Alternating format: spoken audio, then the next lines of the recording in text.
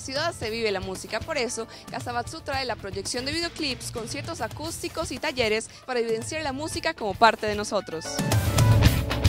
Hola, yo soy Laura y quería invitarlos a una actividad dentro del marco de Octubre Urbano. Cuando pensamos en la ciudad, pensamos en música, oímos música, muchos lugares influyen en esta música. Por eso nos vamos a apropiar en este Octubre Urbano de la música con esta actividad de apropiación sonora el 19 de este mes en Casa Batsu, en Barrio Escalante, que inicia a partir de las 3 de la tarde hasta las 11 de la noche. Vamos a tener un día cargado de actividades con muchas iniciativas juntas en Casa Batsu Mercadito de la Música, mercadería para que conozcan a los artistas, así también como tres em, talleres que vamos a estar haciendo. Pueden buscar el evento en Facebook, Apropiación Sonora, para ver los tres talleres que vamos a tener de marketing digital para artistas, eh, taller de cómo hacer una producción de evento con Donovan Camacho y también gestión cultural desde la transparencia y el apoyo del gobierno abierto también puede beneficiar esta gestión cultural. Así que ya saben, de 3 de la tarde a 11 de la noche.